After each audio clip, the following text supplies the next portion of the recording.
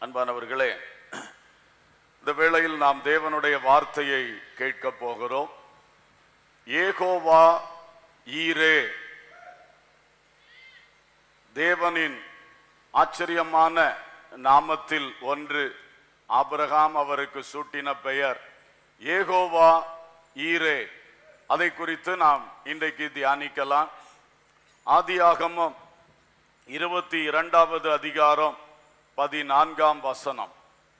Abraham அந்த இடத்துக்கு ஏகோவா ஈரே என்று பெயரிட்டான். அதனாலே கர்த்தருடைய பர்வதத்திலே பார்த்து கொள்ளப்படும் என்று இந்நாள் வரைக்கும் சொல்லப்பட்டு வருகிறது. அல்லேலூயா. ஆபிரகாமுக்கு அன்றை தினம் ஒரு பெரிய ஒரு தேவை. திடீரென்று எழுந்த ஒரு தேவை மிக அற்புதமாக சந்திக்கப்பட்டது. அது சந்திக்கப்பட்ட பொழுது அவனுக்கு மிகுந்த மகிழ்ச்சி உண்டாகி நான் ஆராதிக்கிற தேவன் எனக்கு மகிமையின் தேவனாக வெளிப்பட்டார். சர்வ வல்லவராக என்னை வழிநடத்தி வருகிறார். இன்றைக்கு அவரிடத்தில் இன்னொரு விசேஷத்தை நான் கண்டேன்.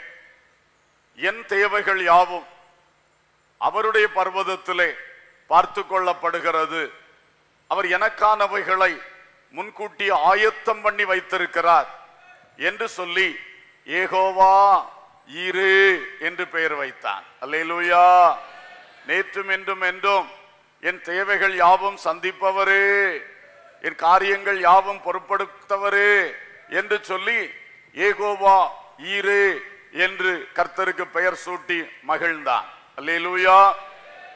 இந்த ஏகோவா ஈரே குறித்து பார்க்கும் பொழுது மூன்று காரியங்களை நமது வாழ்க்கைக்கு பிரயோஜனமாக நான் சொல்லும்படியாக விரும்புகிறேன். ஒன்று ஏகோவா இரே என்று ஆபிரகாம் பெயர் போடும் பொழுது கர்த்தர் செய்த ஒரு ஆச்சரியமான செயல். ஒரு ஆட்டுக்கடாவை இந்த ஆபிரகாம் பலி செலுத்துகிறதற்காக வேண்டி ஈசாக்குக்கு பதிலாக பலி செலுத்துறதுக்காக வேண்டி தேவன் முன்னமே அதை ஆயத்தம் பண்ணி வைத்திருந்தார். அல்லேலூயா. முந்தின வசனம். வாசியுங்கள் பதிமூன்றாம் வசனம். ஆபிரகாம் தன் கண்களை ஏறெடுத்து பார்க்கும்போது இதோ பின்னாக புதரிலே தன் கொம்புகள் சிக்கிக் கொண்டிருந்த ஒரு ஆட்டுக்கடாவை கண்டான். அப்பொழுது ஆபிரகாம் போய் கடாவை பிடித்து அதை தன் குமாரனுக்கு பதிலாக தகன பலியிட்டான் கர்த்தர் இந்த ஆபிரகாமுக்காக ஒரு ஆட்டுக்கடாவை ஏற்கனவே முட்களில் சிக்கி நிற்கும்படி பண்ணியிருந்தார். அல்லேலூயா.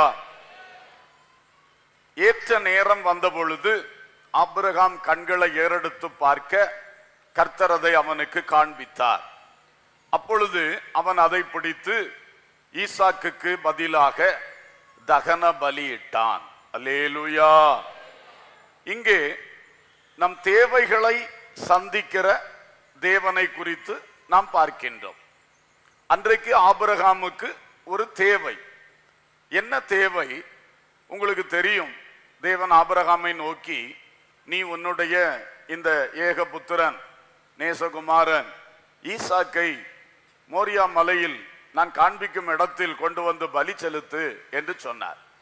இவனும் தேவ வார்த்தைப்படியே அப்படியே பலிக்கு தேவையானவைகளை எடுத்துக்கொண்டு மகனையும் அழைத்து கொண்டு மலையின் மேல் போனான். கர்த்தர் குறிப்பிட்ட இடத்தை காட்டினார். அங்கே பலிபிடத்தை ரெடி பண்ணினான். அப்பொழுது மகனை அதிலே படுக்க வைத்து மகனை பலி செலுத்த அவன் கத்தியை கையில் எடுத்தான். எடுத்த பொழுது பரலோகத்தின் தேவன் குறுக்கிட்டார்.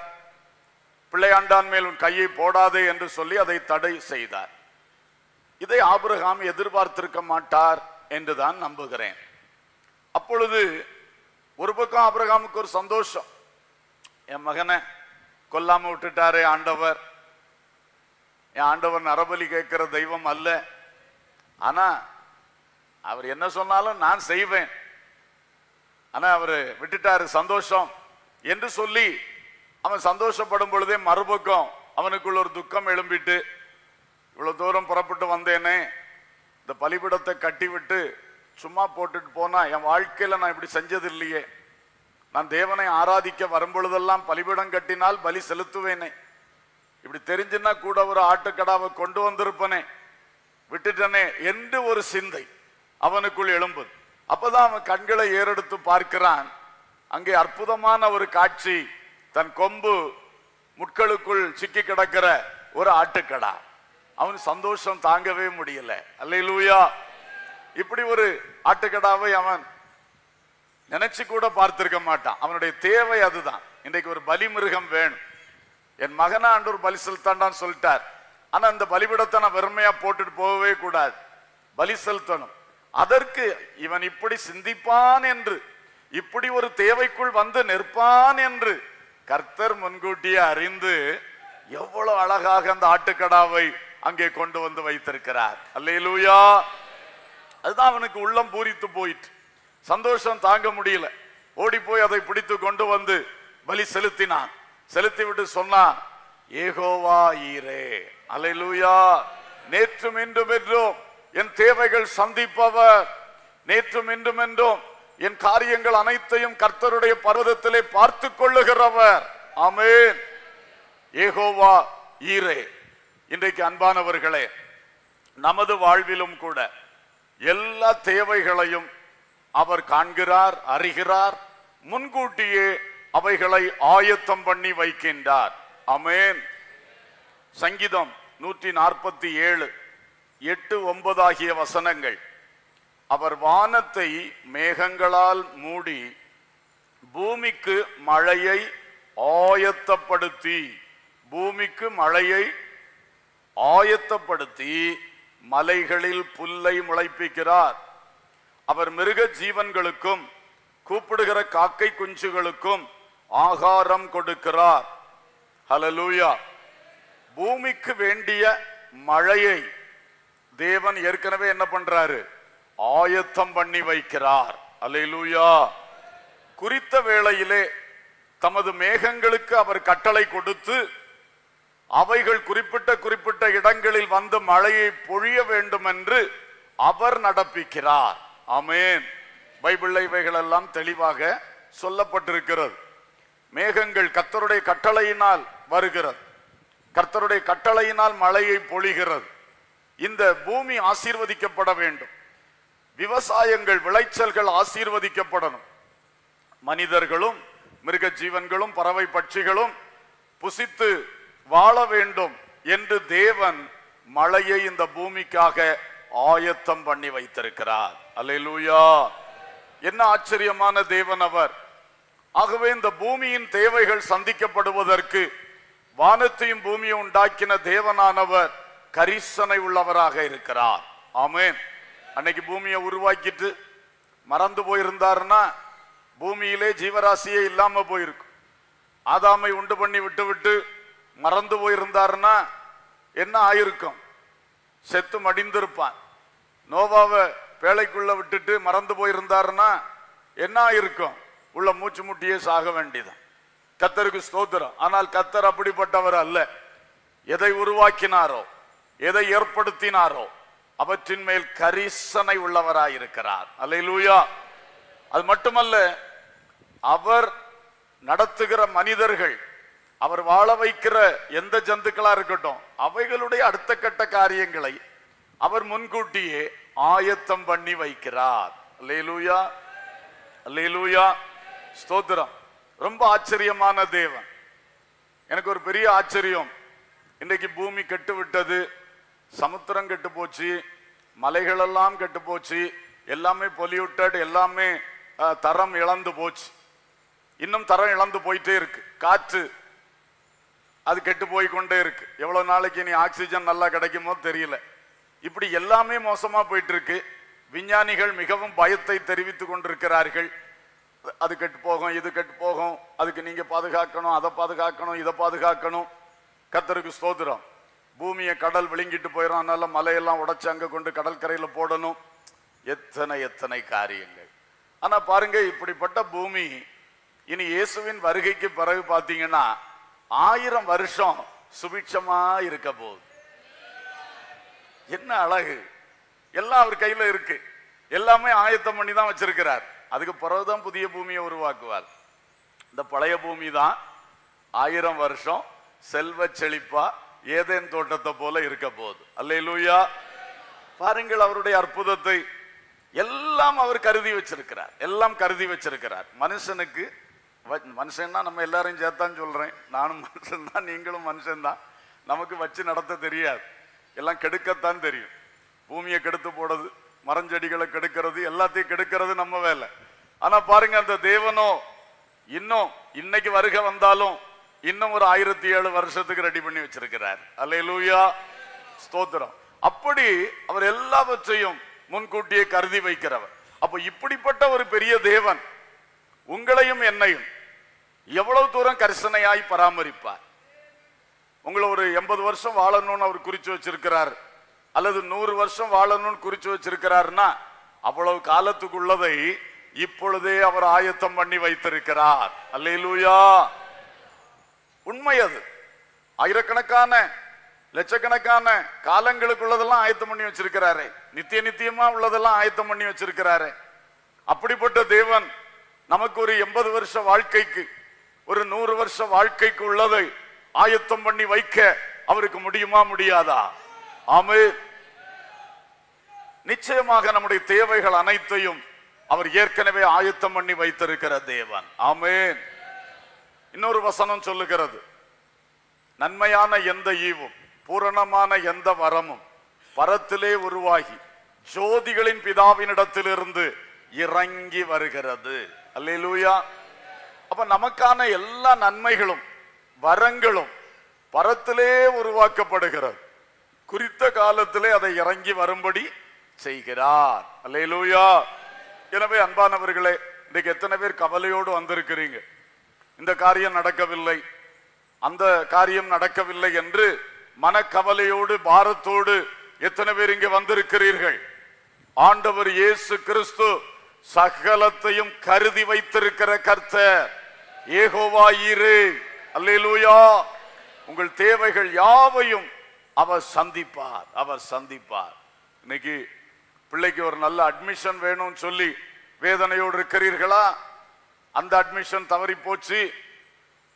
இதுதான் கிடைத்தது என்று வேதனையோடு இருக்கிறீர்களா? கர்த்தர் உங்களுக்கு ஆயத்தம் பண்ணி வைத்திருக்கிறார். கர்த்தர் உங்கள் பிள்ளைகளுக்கு ரெடி பண்ணி வைத்திருக்கிறார். அதை சந்தோஷமா ஏற்றுக்கொண்டு முன் செல்லுங்கள். அல்லேலூயா கிடைக்காதவர்கள் கவலைப்படாதிருங்கள். உங்களுக்கு அவர் ஒரு வேலையை குறித்து வைத்திருக்கிறார். நிச்சயம் கைவிட மாட்டார். காக்கை குஞ்சுக்கும் இறங்குகிறார் என்று படித்தோம். மிருக ஜீவன்களுக்கு ஆகாரம் கொடுக்கிறார் என்று படித்தோம். உங்கள் பிள்ளைகளுக்கு ஒரு அட்மிஷன் கொடுக்க மாட்டாரா? இந்த கர்த்தருக்கு முடியுமா முடியாதா? கண்டிப்பா முடியும். நீங்க கவலைப்படுறத முதல்ல நிறுத்துங்க. கவலையை ஜெப விண்ணப்பமாய் மாற்றுங்கள். எப்பொழுது ஒரு மனிதன் தன் உள்ளத்தில் எழும்புகிற கவலைகளை எல்லாம் ஆண்டவர் நோக்கி ஒரு ஜெப விண்ணப்பமா ஆண்டவர் கையில கொடுத்துறானோ அவன் தான் சந்தோஷம் உள்ளவன் அல்லேலூயா. அவனால தான் சந்தோஷமா இருக்க முடியும். ஆமென். கவலை இங்க வச்சு ஒதுக்கி ஒதுக்கி வச்சிருந்தா ஒரு மனுஷனாலும் சந்தோஷமா இருக்க முடியாது. கவலையை வச்சிருந்தா விசுவாசம் இருக்காது. விசுவாசத்துக்கு பயம் என்பது ஒரு எதிரி கவலை என்பது ஒரு எதிரி. இந்த கவலை உள்ளத்தில் இருந்து நம்ம வாழ்க்கையை கெடுக்கிறது. கவலைப்படாதிருங்கள் சந்தோஷமா சொல்லுங்கள் நீர் யெகோவா ஈரே. நீர் ஆபிரகாமுக்கு ஒன்றை செய்துவிட்டு எனக்கு செய்யாதிருக்க பட்சபாதம் உள்ளவர் அல்ல. ஆமென். அவனுக்கு செய்தீர்னா எனக்கும் செய்வீர். அலலூயா உங்களுக்கு ஒரு வேலை வாய்ப்பு இல்லையா? ஏன் கவலைப்படுகிறீர்? எதிர்காலத்தை நினைச்சு ஏன் பயந்து நடுங்குகிறீர்கள்? ஏன் கலங்குகிறீர்கள்? ஃபாரின் போக ஒரு விசா கிடைக்கல ஏன் இவ்வளவு வேதனையோடு உள்ளமெல்லாம் கொந்தளித்து கொண்டும் கலங்கி கொண்டும் இருக்கிறீர்கள்? ஒரு விசாவினால் தான் நாம் பிழைக்க முடியுமா? ஆமென். கத்தர் எல்லாவற்றையும் செய்ய வல்லவர். உங்களுக்கு ஒருவேளை இந்தியாவுக்குள்ளே ஆயத்தம் பண்ணி வைத்திருப்பார். கன்னியாகுமரி மாவட்டத்துக்குள்ளே உங்களுக்கு ஆயத்தம் பண்ணி வைத்திருப்பார். என்ன? நீங்க கடல் கடந்து போகணும்னு நினைச்சுக்கிட்டு இருக்கீங்க. ஆண்டவர் எங்க வச்சிருக்காரோ அதை தர வல்லவராயிருக்கிறார். இருக்கிறார் அல்லேலூயா. நீங்க நல்லா ஆண்டவரை விசுவாசிங்க. எந்த விஷயத்திலும் தைரியமாய் கர்த்தர் எல்லாம் ரெடி பண்ணி வச்சிருக்கிறார். அதை வெளிப்படுத்துங்க ஆண்டவரே. அதை தாங்க ஆண்டவரே. அதுதான் நம்ம வேலை. இனி ஏதோ கேட்டு இனி ஏதோ ஆண்டவர் நம்மள மாதிரி ஆ அப்படியா? தேவையா? அப்படி சொல்லி அவருக்கு போய் ஆயத்தம் பண்ண போவாரா? அப்படி கிடையாது. அவருக்கு தெரியும் கரெக்டா. என் பிள்ளை ஒரு மணிக்கு சாப்பாடு கேட்கும். என்பது அந்த பரமபிதாவுக்கு தெரியும். சில தாய்மாரை போல. டிவிக்கு முன்னாலே உட்காந்துக்கிட்டு மொபைலை கையில வச்சுட்டு பிள்ளை வந்து கதவை தட்டணும் ஆ ஒரு மணி ஆயிட்டா? சொல்லி அதுக்கு பிறகு அடுப்பங்கரைக்கு ஓடுறது அல்ல. கர்த்தர் எல்லாம் ரெடியா வச்சிருப்பார். ஆமே டைமுக்கு கரெக்டா கொடுப்பார். ஆமே லீலூயா ஸ்தோத்திரம். ஆகவே தேவ பிள்ளைகளே இந்த வார்த்தைகளை சொல்லும் பொழுதே உங்கள் கவலைகள் வெளியே ஓடட்டும். கவலை என்பது ஒரு பெரிய தடை. நாமே நமக்கு உருவாக்குற தடை. இந்த கவலையை தூக்கி வெளியே போடுங்கள். எப்ப கவலை வந்தாலும் இங்க வைக்காமல் ஆண்டவரே இந்த காரியத்தை செய்தருளுங்கப்பா என்று ஒரு விண்ணப்பமாக அங்கே கொடுத்து விடுங்கள். கர்த்தர் ஏற்ற வேளையில் அழகாக செய்வார். ஹalleluya சில விவாகத்துக்காக காத்திருக்கிறீர்கள். நாட்கள் போகிறது வருடங்கள் போகிறது வேதனையாய்த்தான் இருக்கிறது. ஆனாலும் ஆண்டவர் உங்கள் பிள்ளைக்கு ஒரு மகனை ஆயுத்தம் பண்ணி வைத்திருக்கிறார் என்று விசுவாசியுங்கள். உங்கள் பிள்ளைக்கு ஒரு மகளை ஆயத்தம் பண்ணி வைத்திருக்கிறார் என்று விசுவாசியுங்கள். அந்த விசுவாசத்தினால் நீங்கள் பெற்றுக்கொள்ளுவீர்கள். அல்லையிலூயா வயசை பார்க்காதீங்க. சூழ்நிலையை பார்க்காதீங்க. இனி எங்க கிடைக்கும் என்று நீங்களே ஒரு நாள் பத்து தடவை சொல்றீங்க. அதுதான் தடை. அதுதான் தடை. உங்க வார்த்தையில வல்லமை இருக்குது. அந்த வார்த்தையை அவசியம் இல்லாம பயன்படுத்தாதீங்க. கத்தருக்கு ஸ்தோத்திரம். இனி என் பிள்ளைகளுக்கு என்ன நடக்கும்? இனி இவனுக்கு நடக்குமா? இனி இவளுக்கு நடக்குமா? என்று நீங்களே பேசுகிறத நிறுத்திவிட்டு ஏகோவாயிரே தேவன் மேல் நம்பிக்கை வையுங்கள். அலையிலூயா இயேசு செய்வார். நீ பயப்படாத மகனே கலங்காத மகளே உனக்காண்டவர் வச்சிருக்கிறார். உனக்காண்டவர் ஏற்ற வேளையில செய்வார். என்று சொல்லி தைரியமான வார்த்தைகளை விசுவாசமான வார்த்தைகளை சொல்லுங்க. யார் சொல்ல முடியும்? ஏகோவா இறையை விசுவாசிக்கிறவர்கள் சொல்ல முடியும். அல்லையிலூயா அது இன்றைக்கு நமக்குள் வருவதாக. தேகோவா ஈரை தேவன் எல்லா தேவைகளும் சந்திப்பார்.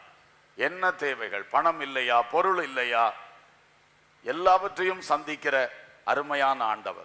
இந்த விஷயத்தில் ரெண்டாவதாக நான் மூணு காரியம் சொல்லுவேன் அதில் உள்ள ரெண்டாவது அல்ல முதல் காரியத்தில் உள்ள ரெண்டாவது. கத்தருக்கு ஸ்தோத்திரம். இங்கே ஒரு ஆட்டுக்கடா. அப்ப இந்த ஆட்டுக்கடாவை முதலாவது நான் சொன்னேன் உங்கள் தேவைகள். சந்திக்கப்படும் என்பதை அது காட்டுகிறது. ரெண்டாவது அந்த ஆட்டுக்கடா காணிக்கை. ஏன்னா இவனுக்கு இப்போ ஈசாக்க காணிக்கையா செலுத்தும்படி வந்தான். கர்த்தர் தடுத்துட்டார்.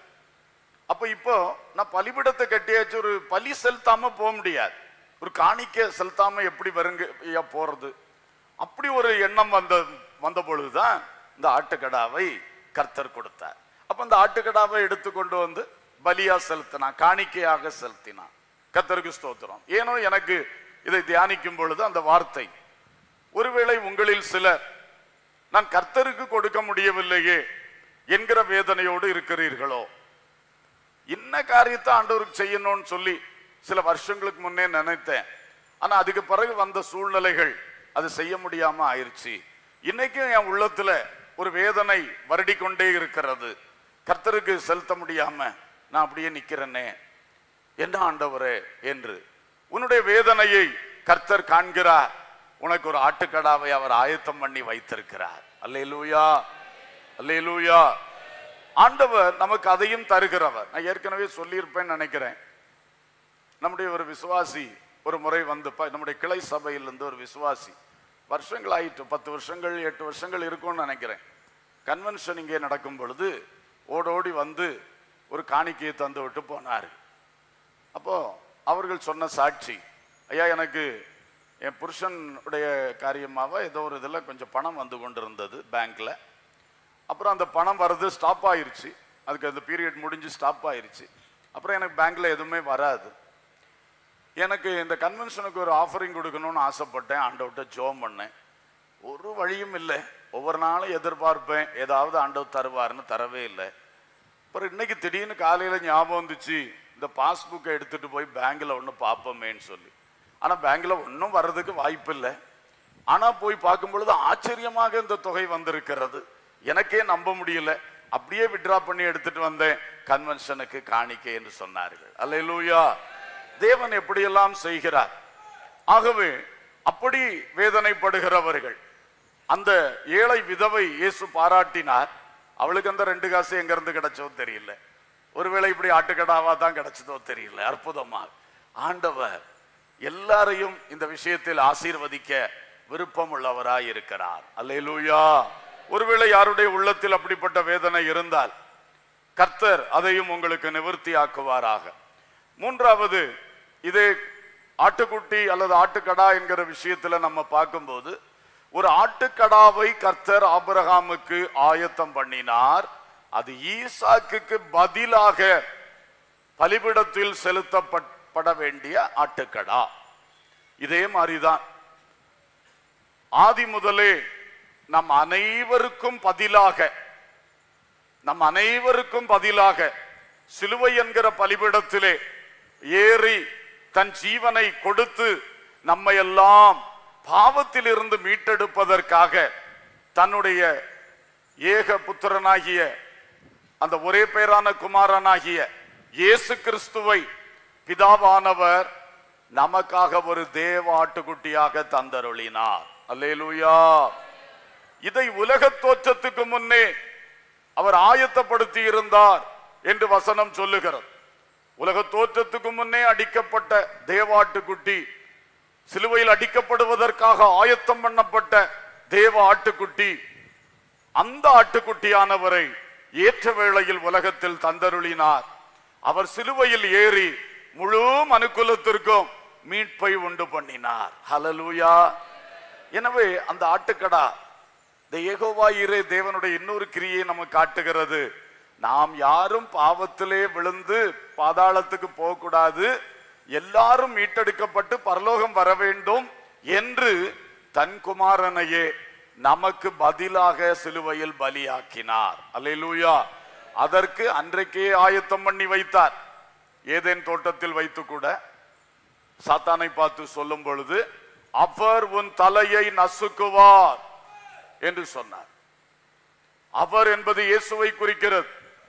சாத்தானே உன் தலையை அவர் சிலுவையிலே நசுக்குவார் என்று ஏதேன் தோட்டத்திலே தேவன் சொல்லிவிட்டார். அல்லேலூயா என ஏ- ஏனென்றால் இந்த இயேசு கிறிஸ்து நமக்காக ஆயத்தம் பண்ணப்பட்ட தேவாட்டுக்குட்டி. அலலூயா ஈசாக்கை போல நாம் எல்லாரும் மறிக்கணும் ஆனா நம்மை காப்பாற்ற நமக்கு பதிலாக இயேசு என்ன பண்ணாரு?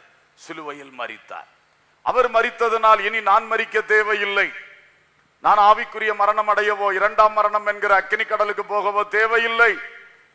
அந்த மரணத்திலிருந்து என்னை அவர் விடுதலையாக்கி இருக்கிறார் அது மட்டுமல்ல சரீர மரணத்தையும் வேதனை அகற்றி அவர் அந்த மரணத்தை நித்திரை என்று மாற்றி தந்திருக்கிறார். அலையலூயா இந்த ஒரு பெரிய பாக்கியத்தை இயேசு கிறிஸ்து என்கிற தேவ ஆட்டுக்குட்டி நமக்கு செய்திருக்கிறார். அல்லேலூயா.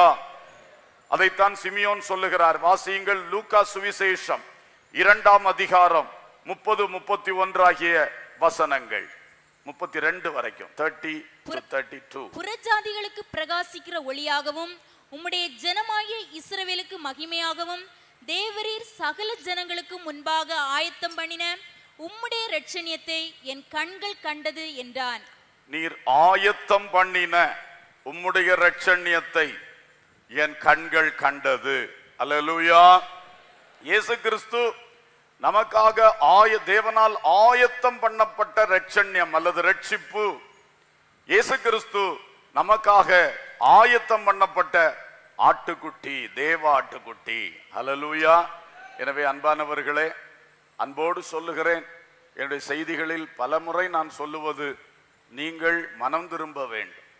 இயேசு கிறிஸ்து உங்களுக்காய் சிலுவையில் மறித்து உயிர்த்திருக்கிறார். உங்கள் பாவங்களை மன்னிக்கத்தான் இயேசு சிலுவையில் மறித்து உயிர்த்தார். நீங்கள் இயேசுவண்டை வாருங்கள். நான் ஒரு பாவி. என் பாவத்தெல்லாம் மன்னிங்க இயேசுவே என்று இதயபூர்வமாய் கேளுங்கள். இயேசு உங்கள் பாவங்கள் அனைத்தையும் மன்னிப்பார். பாவம் மன்னிக்கப்பட்டு விட்டால் பரலோக பாக்கியம் கிடைக்கும். அல்லேலூயா. பாவம் உள்ளே இருந்தால் பாதாளம். பாவம் உள்ளே இருந்தால் அக்கினி கடல். மீட்பே இல்லை. இந்த பாவத்திலிருந்து விடுதலை பெற்றாக வேண்டும். அதற்குத்தான் இயேசு நமக்காக நமக்காக தேவாட்டுக்குட்டியாக ரட்சணியமாக தேவனாலே ஆயத்தப்படுத்தப்பட்டிருக்கிறார். அல்லேலூயா. ஸ்தோத்திரம்.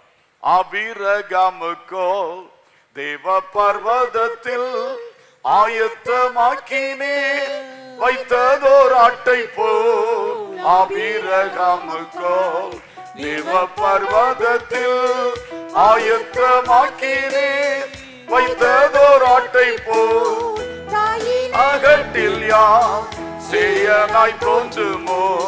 தற்பரலே யாவும் கருதி வைப்பீ தாயின் அகட்டில் யாம் சேயனாய் தோன்றுமோ. யாவும் கருதி வைப்பீ ஏகோ வாயிரே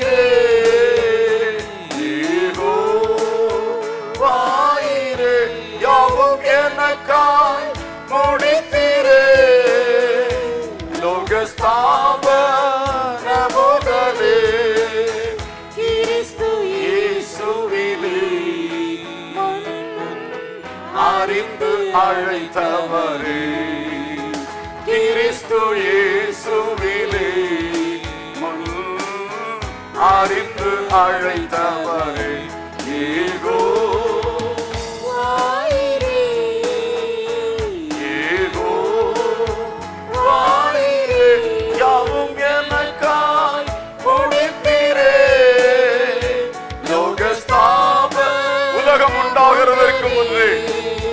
உம்மால் அழைக்கப்பட்ட எனக்காக யாவற்றையும் நீர் ஆயத்தம் பண்ணி வைத்திருக்கிறீர்.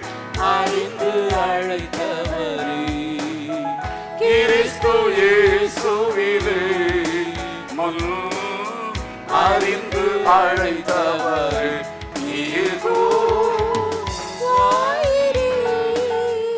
ஆமே அல்லேலூயா. ஸ்தோத்திரம். உங்களை அழைத்தவர் உண்மை உள்ளவர். உங்க வாழ்க்கைக்கான எல்லாம் செய்து முடித்திருக்கிறார். அமீர் அல்ல லூயா ஒவ்வொருவருக்கும் அவர் வைத்திருக்கிறது ஆச்சரியமானவைகள். அவைகளை ஆயத்தமாகவே வைத்திருக்கிறார். குறித்த வேளையில் உங்கள் கைகளில் கிடைக்கும். ஆமேன். ஸ்தோத்திரம். இரண்டாவதாக முதலாவது ஒரு ஆட்டுக்கடா.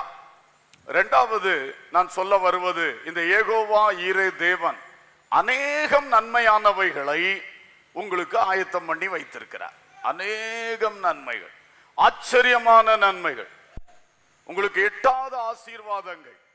என்னை நோக்கி கூப்பிடு.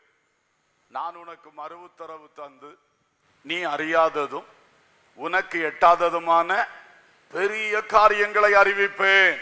இறைமையா முப்பத்தி மூன்று மூன்று. ஆகவே பெரிய காரியங்கள் ஆச்சரியமான காரியங்கள் கர்த்தர் உங்களுக்கு ஆயத்தம் பண்ணி வைத்திருக்கிறார்.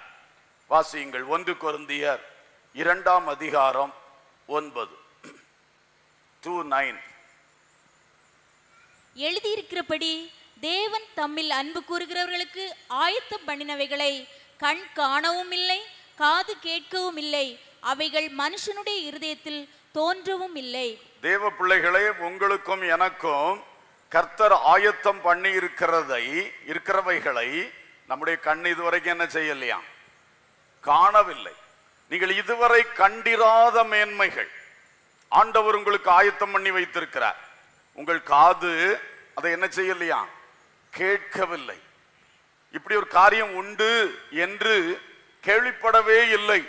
அப்படிப்பட்டவைகளை எல்லாம் உங்களுக்காக கர்த்தர் ஆயத்தம் பண்ணி வைத்திருக்கிறார். அல்லூயா தேவனிடத்தில் அன்பு கூறுகிற உங்களுக்கு கண் காணாத நன்மைகள் உங்கள் காதுகள் கேட்டிராத நன்மைகள் மனுஷருடைய இருதயத்தில் அவைகள் தோன்றவும் இல்லை. அல்லேலூயா.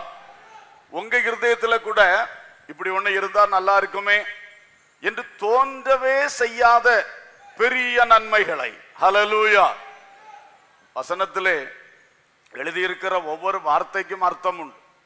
ஒரு வார்த்தை கூட மாறாது. அதான் நான் சொல்றதெல்லாம் அப்படியே உண்மை. ஆண்டோடைய வசனம் சொல்லுது. அன்பு கூறுகிறவர்களுக்கு அவர் ஆயத்தம் பண்ணி இருக்கிறவைகளை கண்கள் என்ன செய்யல? கவனிக்கிறீங்களா? கண்கள் என்ன செய்யல? காணல. உங்க காது என்ன செய்யல? கேட்கல. உங்க நினைவில் கூட அது என்ன செய்யல? தோன்றல. அப்படிப்பட்ட மேன்மைகள் கர்த்தரிடத்தில் அன்பு கூறுகிற பிள்ளைகளுக்கு கர்த்தர் வைத்திருக்கிறார். அல்லேலூயா. அப்ப எவ்வளவு பெரிய ஒரு தேவன் நமக்கு. நம்ம உள்ளம் எவ்வளவு பெரிய ஒரு எதிர்பார்ப்போடு அவரை நோக்கி பார்க்கணும்? ஆபிரகாம் கண்களை ஏறெடுத்து பார்த்த பொழுது அந்த ஆட்டுக்கடாவை கண்டது போல நீங்களும் அது வரைக்கும் அதை காண மாட்டீர்க. அன்னைக்கு தான் ஆச்சரியமா பார்ப்பீங்க அல்லையிலோயா இப்படி ஒரு காரியம் காதுலே கேட்டிருக்க மாட்டீங்க. ஆனா அன்னைக்கு அந்த காரியம் நடக்கும். சிந்தனையில கூட வந்திருக்காது. ஆனால் கத்தரதை தருவார். அல்லையிலூயா யோசிப்பு பார்வோனுடைய அடுத்தவனாக எகிப்துல உட்காருவான்னு சொல்லி என்னைக்காவது நினைச்சிருப்பானா? அவன் அவன் சிந்தனையில தோண்டி இருக்குமா? எகிப்தே அவன் அறிஞ்சது இல்லையே பார்த்தது இல்லையே கொஞ்ச காலத்துக்கு பிறகு தானே அவன் பார்த்துக்க ஆரம்பிச்சான். பார்க்கிற நிலைமை பரிதாபமான நிலைமை இல்ல. அடிமை கைதி. ஆனா பாருங்க ஆச்சரியம். கடைசியில ஒரு வசனத்துல சொல்லப்பட்டிருக்கு ஆண்டவர் என்னை பார்வோனுக்கு தகப்பனாய் வைத்தார். அப்போ ஒருவேளை அந்த பார்வன் செத்து அடுத்த பார்வன் வந்திருப்பான். யோசேப்பு அவனுக்கும் சீனியராக அவனுக்கும் ஆலோசனை கொடுக்கிறவனாக இருந்திருக்கிறான். அவ்வளவு மேன்மை. அப்போ பாருங்கள் தேவனிடத்தில் அன்பு கூறுகிற பிள்ளைகளுக்கு ஆண்டவர் வைத்திருக்கிற மேன்மைகள். தாவிது ஆடு மேய்த்துக் கொண்டிருந்த காலத்துல பெரிய எதிர்பார்ப்பு ஏதாவது வச்சிருப்பானா? அவன் காது கேட்டிருக்குமா? இதெல்லாம் அவன் கண்ணு கண்டிருக்குமா? அவன் சிந்தனைக்கு எட்டி இருக்குமா ஒன்றுமில்லை. ஆனால் தேவன் அவனை சமஸ்த இஸ்ரவேலுக்கும் ராஜாவாய் மாற்றினார். அல்லேலூயா! சாலமோ ஒவ்வொருத்தரை பற்றியும் பார்க்கலாம். எவ்வளவு ஆச்சரியம். நினைத்திராதவைகள் நினைத்திராதவைகள். அல்லேலூயா. கர்த்தர் உங்களை மேன்மைப்படுத்த விரும்புகிறார். உலகத்தின் ஆசீர்வாதத்தில் மட்டுமல்ல எல்லா நிலையிலும் கர்த்தர் உயர்த்த விரும்புகிறார். ஆமே ஆவிக்குரிய விஷயத்திலும் நீங்கள் இதுவரை காணாத நன்மைகள் நீங்கள் இதுவரை கேட்டிராத கிரியைகள் நீங்கள் இதுவரைக்கும் மனசுல கூட நினைக்காத ஆவியின் வரங்கள். நம்மிடத்திலே கிரிய செய்ய போகிறது. ஹலலூயா ஆண்டவர் நிச்சயமா செய்வார். நிச்சயமா செய்வார். ஹலலூயா ஸ்தோத்திரம். பெரிய பெரிய நன்மைகள். ஒரு சிலதை நாம் கொஞ்சம் பார்ப்போம். யோனா தீர்க்க தரிசன புத்தகம் ஒன்றாம் அதிகாரம் பதினைந்தாம் வசனம் சொல்லுகிறது. யோனாவை எடுத்து சமுத்திரத்திலே போட்டு விட்டார்கள். சமுத்திரம் தன் மும்முரத்தை விட்டு அமர்ந்தது. கர்த்தர் யோனாவை அந்த வசனத்தை மட்டும் வாசிங்க. பதினாறு. என்ன? அப்பொழுது அந்த மனுஷர். கத்தருக்கு மிகவும் பயந்து கத்தருக்கு பலியிட்டு பொருத்தனைகளை பண்ணினார்கள். யோனாவை மீன் விழுங்குச்சுன்னு உள்ளது இல்லையா? யோனாவை விழுங்கும்படி ஒரு பெரிய மீனை கத்தர் ஆயத்தப்படுத்தி இருந்தார் ஓகே எந்த வசனம்? பதினேழு. பதினேழா சரி.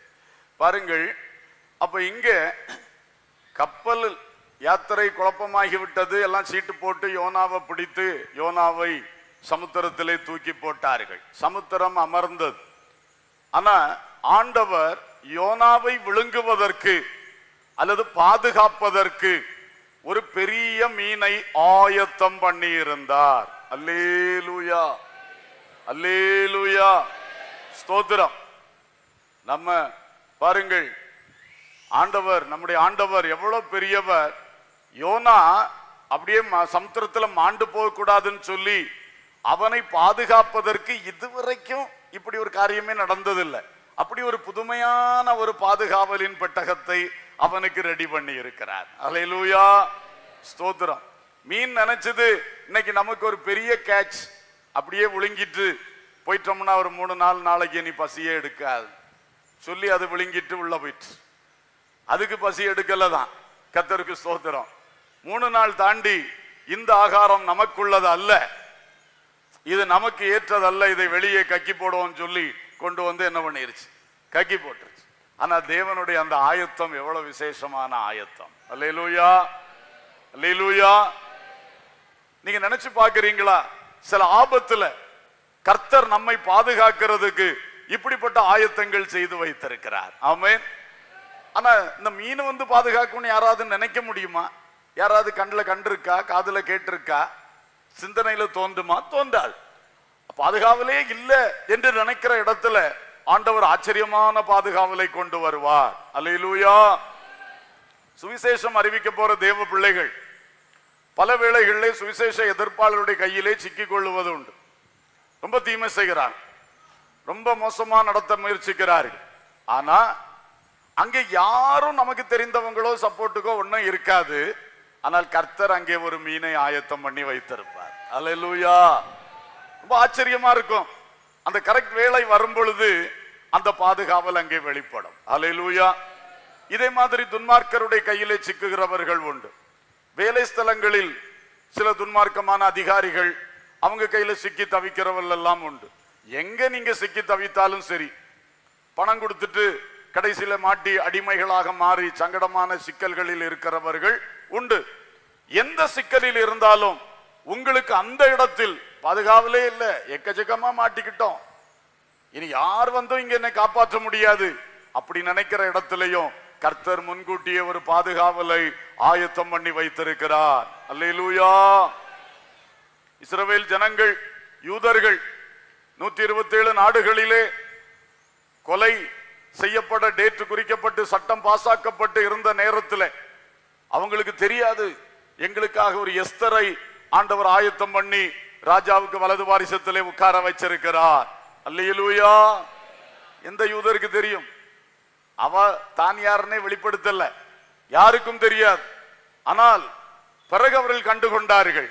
இந்த பயங்கரமான கொலைபாதகத்திலிருந்து கொலைபாதக ஆமானிடத்திலிருந்து நாங்கள் எல்லாரும் விடுவிக்கப்படுவதற்கு தேவன் நாங்க சிக்கின பிறகல்ல சிக்குகிறதற்கும் நம்மை எஸ்தரை ராஜாத்தியாக மாற்றி எங்கள் பாதுகாவலை ஆயத்தம் பண்ணி வைத்திருந்தார். அல்லேலூயா! அல்லேலூயா! அதனால நம்ம மாட்டிக்கொண்டோன்னு ஒருத்தரும் வருத்தப்பட வேண்டியதில்லை. மாட்டிக்கொள்ளுகிறதற்கெல்லாம் முன்னதாகவே அவர் விடுதலையின் வழியை ஆயத்தம் பண்ணி வைக்கிற தேவன். அல்லேலூயா! அவர் பாதுகாவலின் காரியத்தை ஆயத்தம் பண்ணி வைக்கிற தேவன். யோனாவுக்கு மீனை ஆயத்தம் பண்ணினவர். அல்லேலூயா. எப்படி ஆயத்தம் பண்ணாரோ தெரியல. ஏ? அந்த மீனை நல்லா வளர வச்சிருக்கிறார். ஒரு நாள் என் என் மகன் ஒருத்தன் வருவான் உள்ளால. மூணு நாள் ஸ்டேக்கு நீ நல்லா தங்க வச்சுக்கணும். அதுக்கு தக்கதான் நீ என்ன பண்ணு? இரு. கத்தருக்கு சோதரம் ரெண்டு நாள் பசியா போட்டாரா தெரியல. ஒன்று கிடைச்சோன்னு வாயை பிளந்து விழுங்கிட்டு பாருங்களேன். நல்லா பசியாரி இருந்துன்னா இப்படி முயற்சி பண்ணாது. இல்லையா? எல்லாம் ஆயத்தம் பண்ணி கொண்டு வந்திருக்கிறார். கரெக்டா அந்த இடத்துல கொண்டு வந்திருக்கிறாரு பாருங்க. எங்க போன திமிங்கலமோ தெரியல. அதை பிடித்து இந்த கப்பலுக்கு பக்கத்துல கொண்டு வந்து கரெக்டா ஆயத்தம் பண்ணுகிற தேவன். அல்லேலூயா ஒவ்வொரு காரியத்தையும் ஆயத்தம் பண்ணுவார். ஆண்ட இதே அதிகாரத்துல தான் கர்த்தர் பூச்சிக்கு கட்டளையிட்டார்னு ஒரு வசனம் இருக்கு. எனக்கு ரொம்ப ஆச்சரியம். தேவ பிள்ளைகளுக்காக மீனுக்கு மட்டுமல்ல செடிக்கு மட்டுமல்ல வேணா பூச்சிக்கு கூட அவர் என்ன செய்வார்? சொல்லுங்க. பூச்சிக்கு கூட கட்டளை கொடுப்பார். ஹalleluya பூச்சி யாரு? தேவன் யார்? அந்த பூச்சிக்கு போய் அவர் பேசுவாரா? நமக்காக எங்கேயும் பேசுவார். அலை லூயா ஆயத்தம் பண்ணி வைக்கிற தேவன் அல்லவா? எவ்வளவோ ஆச்சரியமான தேவன். சும்மா கதை கேட்ட மாதிரி கேட்டுட்டு போக கூடாது இந்த கதை சொல்ல சொல்ல இருதயத்துல விசுவாசம் எழும்பணும். லூயா அதான் விஷயம். நம்ம கதையெல்லாம் நல்லா தான் இருக்கும் கேட்கறதுக்கு அஹ்? இது நமக்குள்ள எதா மாறணும் விசுவாசமா மாறும். நம்ம வாழ்க்கையிலும் ஒன்று வரும்போது ஆம் கர்த்தர் எனக்கா இதுல ஒரு பாதுகாவல வச்சிருக்கிறார். நான் பயப்பட தேவையில்லை. அல்லேலூயா. பேதரை பிடிச்சு ஜெயில போட்டாச்சு. நாலு காவல் வச்சு காவல் பண்றா. அதுக்கு மேல சங்கிலியில கட்டி அப்படி விட்டுருக்கானுங்க. அப்படி ப- ப- ப- படு படு படுத்து தூங்கியிருப்பாருன்னு நினைக்க ஆனா சங்கிலி கட்டி இருக்கு இப்படி இருக்கும்போது அந்த மனுஷன் ஒரு அலறலும் இல்லை ஒரு கலக்கமும் இல்லை ஒரு கண்ணீரும் இல்லை ஒரு பெருமூச்சும் இல்லை. நல்ல அயர்ந்த நித்திரை. பேதருக்கு எப்படி தூக்கம் வரும்? நாளை காலையில கழுத்து வெட்டப்படும் எப்படி அன்னைக்கு தூக்கம் வரும்? ஆனா தூங்கினார். அவருக்கு நல்ல விசுவாசம். என்னை அழைத்தவர் உண்மை உள்ளவர். அல்லேலூயா எனக்கு எதை ஆயத்தம் பண்ணி வச்சிருக்காரோ அதை கரெக்டா செய்வார். ஆமே அவர் நடுராத்திரியே விடுதலையை ஆயத்தம் பண்ணி வைத்திருந்தார். அல்லேலூயா அந்த விடுதலை வந்த பிறகு கூட பேதுருக்கு தெரியல. சொப்பனம் காண்றது போல தான் நினைச்சாராம். அப்புறம் திடீர்னு பார்க்கும்போது தான் ரோட்ல நிக்கிறேன். ஜெயிலுக்குள்ள இருந்தவன் எப்படி ரோட்ல நிக்கிறேன்?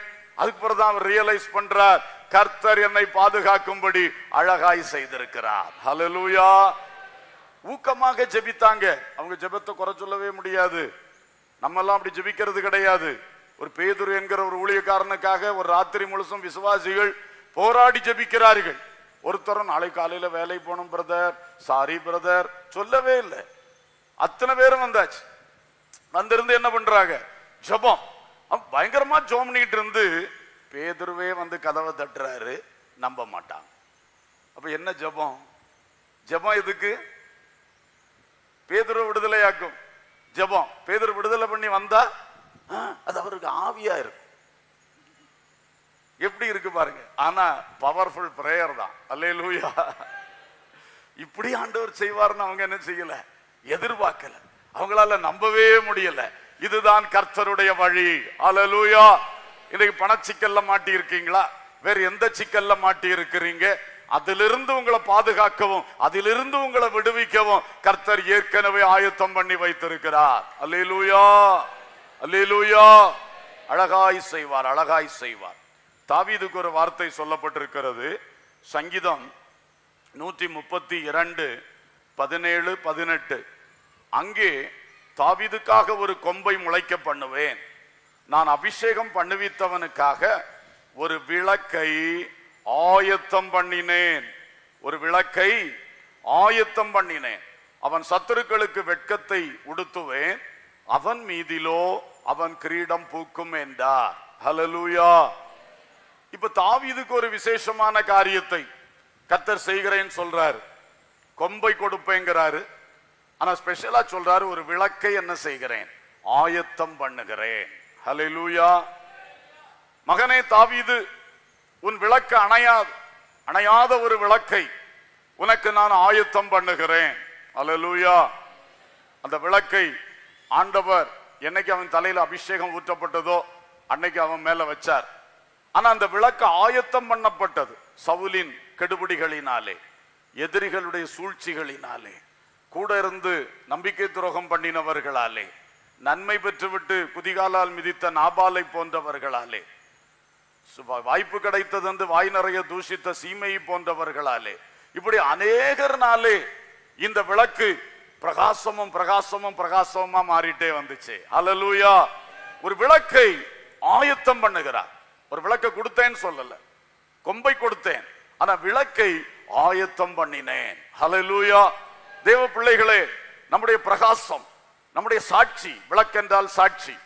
நம்முடைய சாட்சி நம்முடைய நற்பெயர் இவைகள் ஒரு நாள்ல டப் என்று ஃபார் கிராண்டட் கொடுக்கிறது அல்ல அது ஆயத்தமாக்கப்படுகிறது. ஹலலூயா ஆண்டவர் நம்மை தெரிந்து கொண்ட நாள் முதல் இதைத்தான் ஆண்டவர் நம்மகிட்ட செஞ்சுட்டே இருக்கிறார். இந்த விளக்கை பிரகாசமாக்கணும். இந்த விளக்கு பற்றி எரிந்து கொண்டே இருக்கணும். இது இரவும் பகலும் அணையாத ஆசரிப்பு கூடாரத்தில் வைக்கப்பட்ட குத்து விளக்கு போல எரிந்து கொண்டே இருக்கணும். யோவான் ஸ்நாபகனை போல அவன் எரிந்து பிரகாசிக்கிற விளக்கா இருந்தான். அல்லேலூயா. அது போல ஒரு விளக்கா இருக்கணும். கர்த்தர் தாவீதுக்கு ஒரு விளக்கை ஆயத்தம் பண்ணார். ஹலலூயா இன்று உங்கள் ஒவ்வொருவருக்கும் ஒரு விளக்கை ஆண்டவர் ஆயத்தம் பண்ணிக்கிட்டே இருக்கிறார். ஒரு பிரதான ஆசாரியன் மற்ற ஆசாரியர்கள் அந்த ஆசரிப்பு கூடார குத்து விளக்கு அணைஞ்சிடக்கூடாது மங்கிடக்கூடாது என்று டெய்லி போய் போய் அதுக்கு எவ்வளவு செய்கிறார்கள்? கருத்தோ இருக்கிறார்கள். அதுபோல கர்த்தர் நம்மிலே பற்ற வைத்த விளக்கை ஆயத்தம் பண்ணி கொண்டே இருக்கிறார். அல்லேலூயா.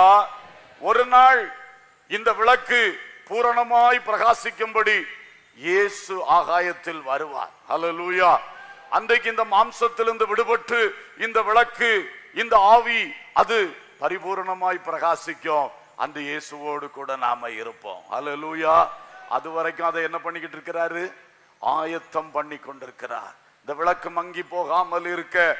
கர்த்தர் அதை ஆயத்தம் பண்ணி கொண்டிருக்கிறார். அல்லூயா விளக்கு என்பது இன்னொரு வகையிலே மனைவியை குறிக்கும். விளக்கு தண்டு புருஷனையும் விளக்கு மனைவியையும் குறிக்கும். கத்தருக்கு சோத்திரம்.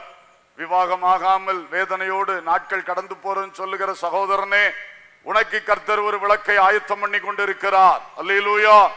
சீக்கிரமாய் தருவார். கவலைப்படாதே. உன் ஜபத்தை விட்டு விடாதே மனவேதனைக்குள் ஆகாது. யாரையும் முறுமுறுக்காது. யார் மேலும் எரிச்சல் ஆகாது அதனால நான் இனி கல்யாண வீட்டுக்கே போக மாட்டேன்னு சொல்லாது. கர்த்தர் உனக்கானதை வைத்திருக்கிறார். உனக்கு விளக்கை ஆண்டவர் ஆயத்தம் பண்ணுகிறார். ஹalleluya அது மட்டுமல்ல தாவீதுக்கு ஆண்டவர் கொடுத்த விளக்கு என்பது சிங்காசனம் ஆளுகை ஆளுகை. சவுலின் விளக்கு அணைந்து போயிற்று. ஆனால் தாவீதின் விளக்கோ அணையவே இல்லை. ஹலலூயா அதான் அந்த விளக்கை ஆண்டவர் ஆயத்தப்படுத்துறேன்னு சொன்னது. ஏன்னா அந்த சரித்திரத்திலேயே இருபத்தொன்றாவது தலைமுறை மட்டும் சாரி பதினெட்டாவது தலைமுறை. பதினெட்டாவது தலைமுறை மட்டும் அந்த சிதைக்கியா ராஜா மட்டும் தாவீதனுடைய பிள்ளைகள் ஆளுகையில் இருந்தார்கள். அதுக்கு பிறகும் வந்து ஆலயத்தை க- ஆலயத்தை ரீபில்டு பண்ணின செருபாபேலும் தாவீதின் சந்ததியா இப்படி ஆளுகை தாவீதின் கையிலேயே இருந்தது. அல்லேலூயா. தேவாலயம் கட்டுதல் தாவீதனுடைய குடும்பத்தார் கையிலேயே இருந்தது. சாலமோன் செர்பாபேல் போன்றவருடைய கையிலே. இப்படிப்பட்ட ஒரு அணையாத விளக்கை அவனுக்கு கொடுத்தார். அல்லேலூயா. ஆபிரகாமின் சந்ததிக்கு ஆண்டவர் ஒரு வாக்குத்தத்தம் கொடுத்தார். பெருகி கொண்டே இருக்கும். ஆசீர்வதிக்கப்பட்டு கொண்டே இருப்பாய். ஒன்னு ஆசீர்வதிக்கிறவன் ஆசீர்வதிக்கப்படும் ஒன்ன சபிக்கிறவன் சபிப்பான். அப்படி ஒரு ஆசீர்வாதத்தின் பாத்திரமாகவே இருப்பாய். அது சந்ததி சந்ததியாய் அவனுக்கு கொடுக்கப்பட்ட ஆசீர்வாதம். அந்த விளக்கு அணையல்.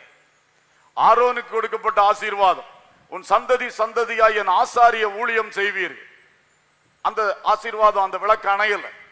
தாவீதுக்கு கொடுக்கப்பட்ட ஆசீர்வாதம். சந்ததி சந்ததியாய் நீ சிங்காசனத்தில் இருந்து ஆளுகை செய்வாய். அந்த விளக்கு அணையல்ல. அலலூயா இதான் அந்த விசேஷித்த விளக்கு. எல்லா விளக்குகளும் எழும்புது அணைஞ்சு போகுது. ஆனால் இந்த மூன்று பேரை பற்றி கர்த்தர் சொன்ன வார்த்தைகள் இன்று வரைக்கும் அணையவில்லை. அலலூயா உனக்கு ஒரு விளக்கை ஆயத்தம் பண்ணுகிற கர்த்தர். உன் சந்ததியை குறித்து நீ வேதனையோடு இருக்கலாம். உன் பிள்ளைகளை குறித்து வேதனையோடு இருக்கலாம். ஆனா பாருங்க எங்கே ஆண்டவர் திட்டத்தை வச்சாரோ அங்கதான் போராட்டம். அங்கதான் எதிர்ப்பு. அங்கதான் சாத்தானுடைய முழு தாக்குதல். ஆனால் நீங்கள் சோர்ந்து போகாமல் கத்தரில் நிலைத்திருங்கள். கத்தருடைய வார்த்தையை பற்றி கொண்டிருங்கள்.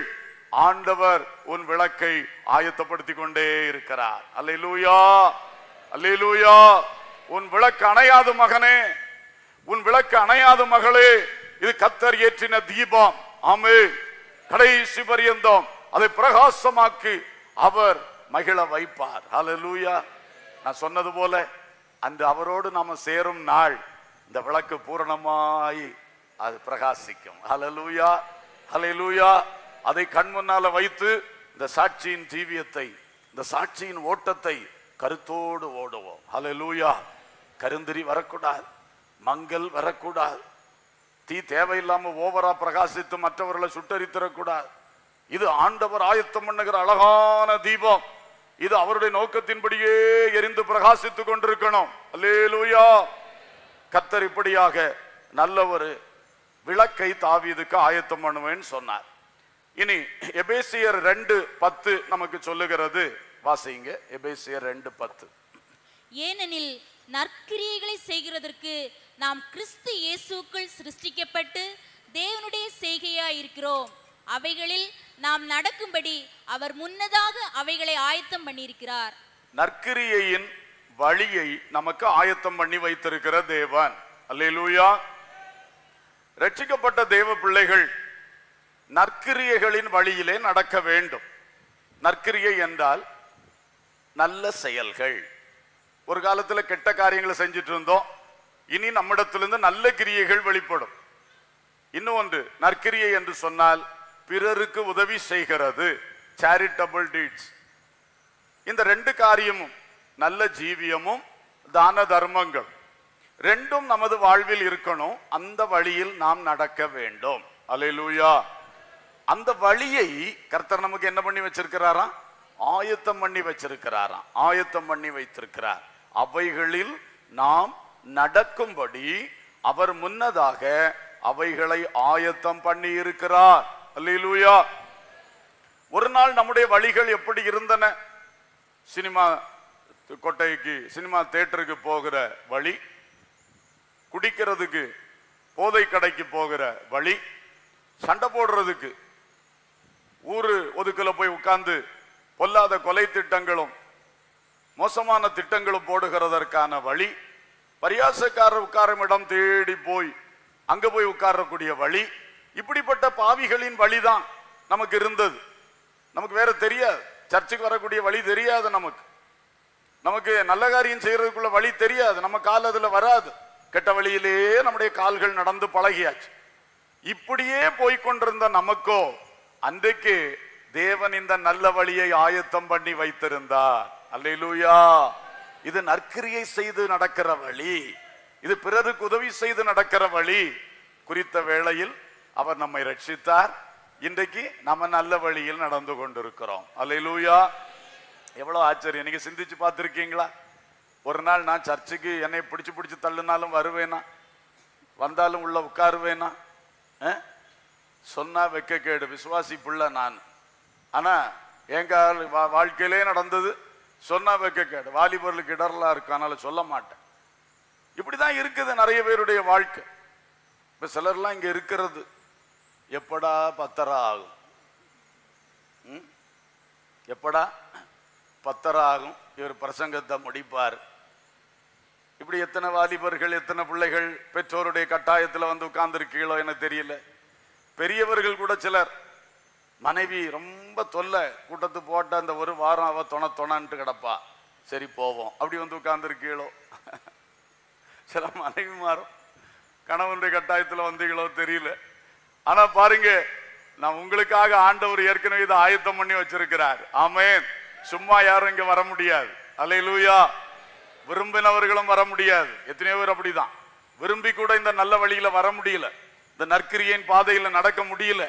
ஆனா நமக்கெல்லாம் ஆண்டவர் இதை வச்சிருந்தாருன்னா அது பெரிய ஒரு பாக்கியம். ஹalleluya ஸ்தோத்திரம். ஆகவே இந்த நற்கிரியைகளின் வழியில நடத்துவதற்கு தேவன் முன்னமே ஆயத்தம் பண்ணி வச்சிருக்கிறார். அதனால இனி நாம சரியாக நற்கிரியின் வழியில என்ன செய்வோம்? நடப்போமாக. அடுத்து பாருங்கள் சங்கீதம் இருபத்தி மூன்று ஐந்து. என் சத்துருக்களுக்கு முன்பாக நீர் எனக்கு ஒரு பந்தியை ஆயத்தப்படுத்தி என் தலையை எண்ணெயால் அபிஷேகம் பண்ணுகிறீர். என் பாத்திரம் நிரம்பி வழிகிறது. அல்லேலூயா. பந்தியை ஆயத்தம் பண்ணுகிற தேவன். பந்தி என சந்தோஷம் கொண்டாடுகிறது விருந்து கொண்டாடுகிறது. இளையகுமாரன் திரும்பி வந்தான். உடனே அங்கு விருந்து பந்தி. கத்தருக்கு ஸ்தோத்திரம். ஒரு ஜெயம் பெற்றால் உடனே விருந்து பந்தி. இதுதான். என் சத்தருக்களுக்கு முன்பாக எனக்கு ஒரு விருந்தை ஆயத்தம் பண்ணுகிறீர். அல்லேலூயா. அப்சலோம். தாவீதுக்கு விரோதமாய் எழும்பினான். அப்பொழுது அவன் வேதனையோடு தலை குனிந்தவனாய் நாட்டை விட்டு சிங்காசனத்தை விட்டு வெளியே போனான். அவன் போகும் பொழுது கர்த்தர் அவனுக்கு ஒரு பந்தியை ஆயத்தம் பண்ணி கொண்டிருக்கிறார். அல்லூயா என்ன மூன்றாம் சங்கீதம் வாசித்தீங்கன்னா தெரியும்.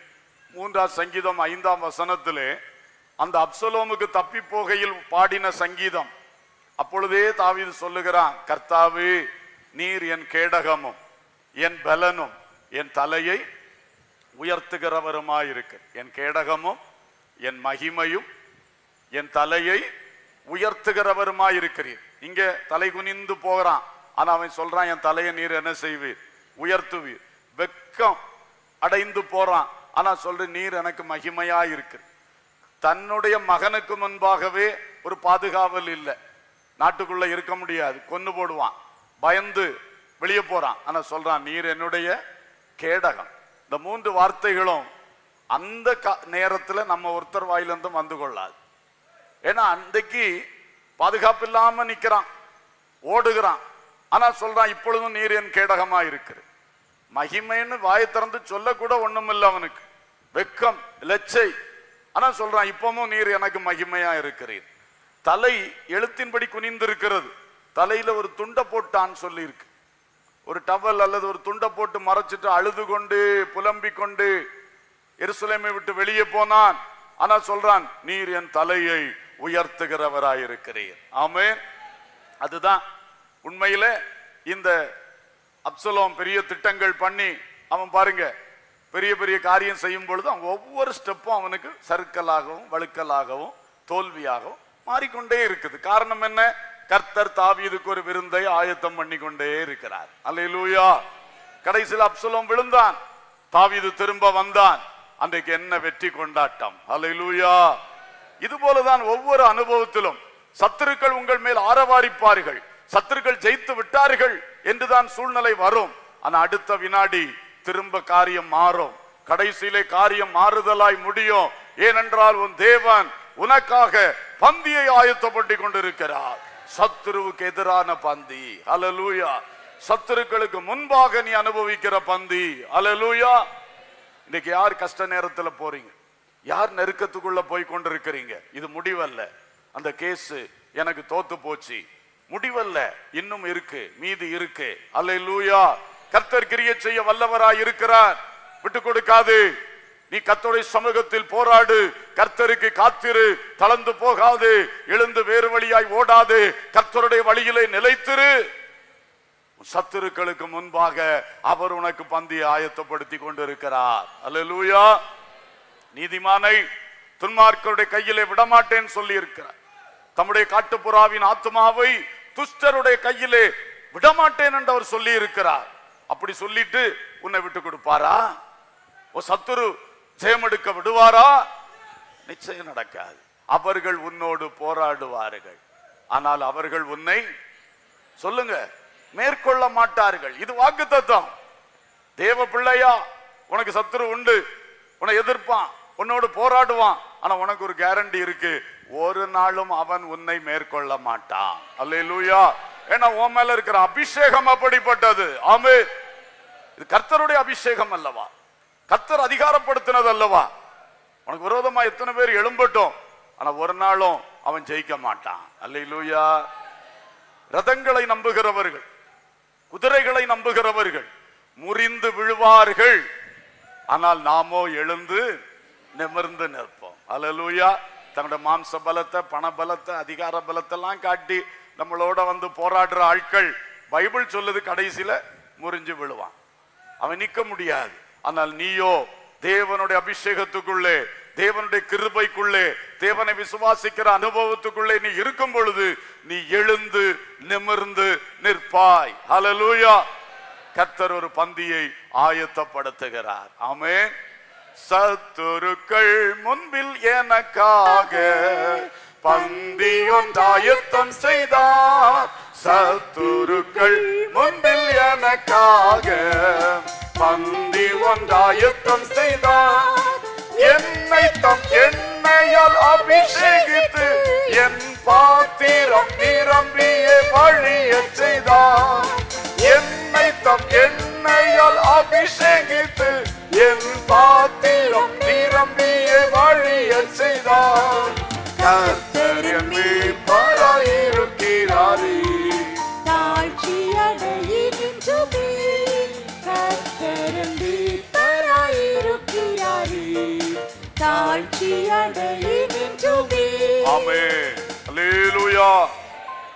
ஆட்டுக்குட்டி ஆயத்தம் பண்ணினார். நமக்கான விசேஷித்தவைகளை ஆயத்தம் பண்ணார். கடைசியாக நமக்கான ஸ்தலத்தை அவர் ஆயத்தம் பண்ணுகிறார். அல்லேலூயா. ஏகோவா ஈரு நமக்கு தேவைகளை சந்திக்கிறவராக அந்த ஆட்டுக்கடாவை ஆயத்தம் பண்ண போல செய்கிறார். ஏகோவா ஈரு எதிர்பாராத கண்ணால காணாத காதால கேட்காத சிந்தனையில தோன்றாத பெரிய விசேஷமானவையெல்லாம் செய்கிறார். அதே ஏகோவா ஈரு நமக்கு ஸ்தலத்தை ஆயத்தம் பண்ணுகிறார். அல்லேலூயா. சங்கீதம் எண்பது எட்டு ஒன்பது ஆகிய வசனங்கள். நீர் எகிப்திலிருந்து ஒரு திராட்சை கொடியை கொண்டு வந்து ஜாதிகளை துரத்திவிட்டு அதை நட்டி நாட்டினீர். அதற்கு இடத்தை ஆயத்தப்படுத்தினீர். அது வேரூன்றி தேசமெங்கும் படர்ந்தது. அல்லூயா சங்கீதக்காரன் சொல்லுகிறான் ஆண்டவரே எகிப்திலிருந்து ஒரு திராட்சை கொடியை எடுத்துக்கொண்டு வந்தீர். அதற்காக ஏற்கனவே ஒரு ஸ்தலத்தை ஆயத்தம் பண்ணி வைத்திருந்தீர். அதில் கொண்டு வந்து அதை நட்டீர். அது இன்றைக்கு வளர்ந்து படர்ந்து நன்றாக இருக்கிறது. இது யார்? இஸ்ரவேலர்கள். இஸ்ரவேலர்கள் எகிப்தில் அடிமைகளாக இருந்தார்கள். அங்கிருந்து அவர்களை மோசையின் கையினாலே விடுவித்து வனாந்திர பயணத்தில் கொண்டு வந்து யோசுவாவின் காலத்திலே அவர்களுக்கு ஏற்கனவே ஆயத்தம் பண்ணியிருந்த கானான் தேசத்திலே அவர்களை நாட்டினார். ஹலெலூயா நாட்டினார். இதைத்தான் சங்கீதக்காரன் உருவகமாய் சொல்லுகிறான். ஏதோ ஆண்டவர் டூர் போன மாதிரியும் அங்கே திராட்சை கொடியை பார்த்த மாதிரியும் அதை கொண்டு வந்து என் வீட்டில் வச்சா நல்லா இருக்குமேன்னு சொல்லி கொண்டு வந்து அதுக்கு ஒரு இடத்தை ஏற்கனவே வச்சிருந்து அங்கே நட்டதாட்டும் சொல்கிறான் ஆனால் சரித்திரம் என்ன? இந்த இஸ்ரவேலர் தான். அங்கிருந்து ஆண்டவர் அதை பிடுங்கி எடுத்து கொண்டு வந்து நட்டார். அப்போ இந்த செடியை நடுவதற்கு ஆண்டவர் ஒரு ஸ்தலத்தை ஆயத்தம் பண்ணி இருந்தார் அல்லூயா அதை ஆபிரகாமுக்கே சொல்லி இருந்தார் ஆபிரகாம் வாழ்ந்த காலம் எது? யோசுவா வாழ்ந்த காலம் எது? எவ்வளவு டிஃபரன்ஸ் ஆனா அன்னைக்கே இந்த ஸ்தலத்தை ஆயத்தம் பண்ணிட்டார். நீ போய் கால் மிதித்து நட. உன் சந்ததிக்கு சுதந்திரமா தருவேன்னு சொல்லி அன்றைக்கே ஆண்டவர் இதை ஆபிரகாமுக்கு வாக்கு பண்ணிட்டார். ஸ்தலத்தை ஆயத்தம் பண்ணி விட்டார் யோசுவாவின் காலத்திலே அந்த கொடியை கொண்டு வந்து நட்டார். ஹலலூயா அப்ப இஸ்ரவேலுக்காக ஒரு ஸ்தலத்தை அவர் ஆயத்தம் பண்ணி இருந்தார். யாத்ராகமம் இருபத்தி மூன்று இருபது. வழியில் உன்னை காக்கிறதற்கும் நான் ஆயத்தம் பண்ணின ஸ்தானத்துக்கு உன்னை கொண்டு போய் சேர்க்கிறதற்கும் இதோ நான் ஒரு தூதனை உனக்கு முன்னே அனுப்புகிறேன். இதே காரியத்தை தான் இன்- இன்னொரு வசனம் இப்படி சொல்லுது. நான் உனக்கு ஒரு ஸ்தானத்தை ஆயத்தம் பண்ணிட்டேன். அதான் கானான் தேசம். அங்கே உன்னை வனாந்திர பாதையில் நடத்தி கொண்டு போய் சேர்ப்பதற்கு என் தூதனை முன்னே அனுப்புகிறேன். என் ஆவியானவர் உன்னோடு இருப்பார். அப்ப கர்த்தர் அந்த இஸ்ரவேல் என்கிற ஜனத்துக்கு ஆதி முதலே ஒரு இடத்தை அவர் என்ன பண்ணி வச்சிருக்கிறாரு? திட்டம் பண்ணி ஆயத்தம் பண்ணி வச்சிருக்கிறார். இடைக்காலத்தில் கூட அதை சத்துருக்கள் பிடுங்கி விட்டார்கள். இஸ்ரவேல் என்று ஒரு தேசமே உலக வரைபடத்தில் இல்லாமல் போய்விட்டது. ஆனாலும் கர்த்தரது ஆயத்தம் பண்ணி வச்சிருந்ததை திரும்ப அவங்களுக்கு கொடுத்தார். ஹalleluya. இன்றைக்கு இஸ்ரவேல் என்ற நாடு இருக்கிறது. ஆச்சரியம் அல்லவா? தேவன் குறித்து வைத்த ஸ்தானம் தேவன் ஆயத்தம் பண்ணுகிற ஸ்தலம் ஒரு பொழுதும் உன்னை விட்டு போகாது. அலலூயா இன்றைக்கு நீங்கள் வாழ்வதற்காக உங்களுக்கு ஒரு ஸ்தலத்தை அவர் ஆயத்தம் பண்ண மாட்டாரா? உங்களுக்கு குடியிருக்க ஒரு பூமியும் ஒரு கட்டடமும் கர்த்தரால் தர முடியுமா முடியாதா? வீடு இல்லை என்று வேதனையோடு இருக்கிறீர்களா எங்கேயாவது ஒரு கொஞ்சம் சென்று கிடைக்காதா என்று சொல்லி நீங்கள் இருக்கிறீர்களா? கவலைப்படாதிருங்கள் கர்த்தரை நோக்கி ஊக்கமாக கூப்பிடுங்கள். லூயா கவலைப்படாதிருங்கள். கத்தரை நோக்கி என்ன? ஊக்கமாக கூப்பிடுங்கள். ஆமே உற்சாகமா சொல்லலாமே. ஆமா.